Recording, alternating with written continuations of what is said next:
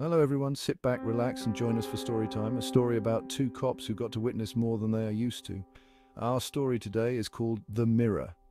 I used to be a cop, but I left the job after a wild paranormal experience. I'm not one to buy into superstitions. Ghosts and demons, nah, I never believed in that stuff. Until now. Sure, there are things that happen that just don't make sense, but trust me, it took more than a few flying spoons or a mysteriously opening door to freak me out enough to quit. Since the department decided there was no reason to keep this police report under wraps, I'm ready to share the details of the scariest night I've ever had. We got a call from dispatch about a noise complaint in a small neighborhood I won't name for privacy reasons. It was just me and my partner. Let's call him Paul and I'll go by Mike.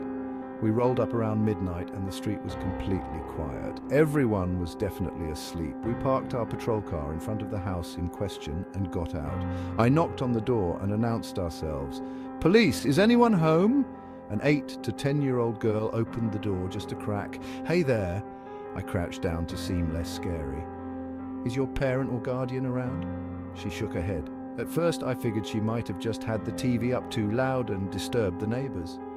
But before I could tell her to stay inside and lock the door, I heard a loud crash of silverware coming from what I guessed was the kitchen. The house was almost completely dark. The girl's response confirmed she was alone, which meant whoever made that noise was definitely an intruder. I asked the girl to step outside and turned to Paul. Hey, why don't you give her one of those lollipops you like to munch on when you're nervous? Paul shot me a look, but the girl giggled. They went to hang out by the car while I slowly pushed the door open wider. Police! If anyone's in this house, make yourself known. I couldn't enter the building without a warrant, so I had to hold back. I strained to see who was making the noise, but it was just too dark. If I had even the slightest hint of danger, I could search the place, but there was nothing. I left the door ajar and made my way back to Paul and the girl. Hey there, I don't think we've introduced ourselves yet. I'm Officer Mike, and this is my partner, Paul. Can I ask your name? Maribel. That's a lovely name. So, Maribel, where's your family? Right after I asked, the TV in the living room blared to life, cranked up to full volume. Paul and I spun around in shock, seeing the screen filled with static from outside.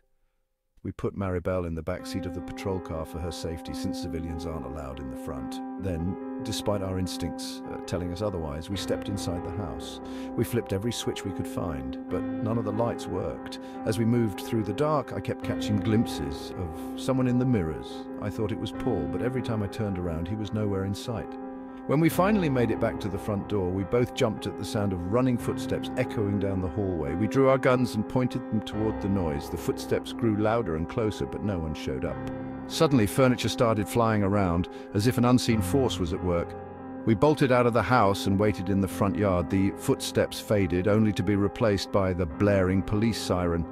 I dashed to the car and turned off the siren. Looking back at Paul, who seemed rattled, I asked, You good, Paul? He pulled out a lollipop, unwrapped it, and popped it in his mouth. Yep. I opened the back door to check on Maribel. You all right? She nodded, so I headed back to Paul. I'm not sure what to think about all this, he said. Same here. No, seriously, forget about the invisible guy who just knocked everything over for a moment. Look at all the family photos and the pictures on the wall. He gestures toward Maribel. She's not in any of them. So what's on your mind? The footprints lead outside, then the siren blares. There are a million buttons in that car. What are the odds? Paul, are you saying Maribel is haunted? How else do you explain what we just witnessed? I'm sure there's a logical explanation. The TV turns on when we take Maribel outside, almost like it's nudging us to check it out. Something shows up in the mirrors, but then disappears. I remember wanting to tell him to stop, not because he was being irrational, but because he was making too much sense. I know you saw it.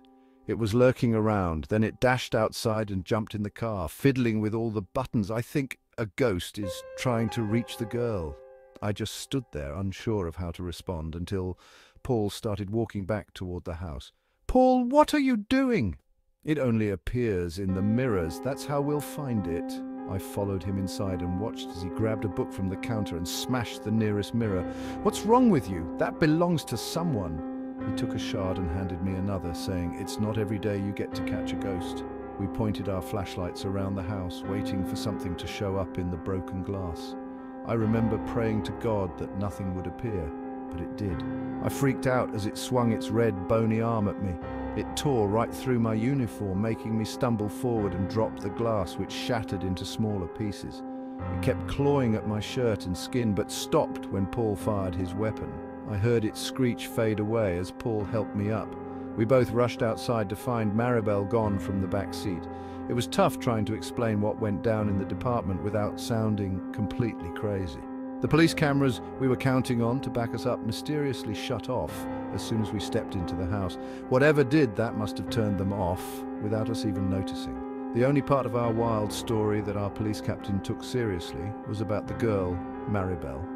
The captain pulled up a missing person report and asked if she was the girl we saw. She was. It's only been a few days since I hung up my badge to keep whatever pride I had left.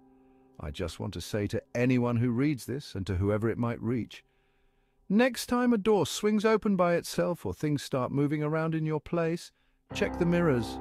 Be sure to like, comment, share and subscribe for more stories.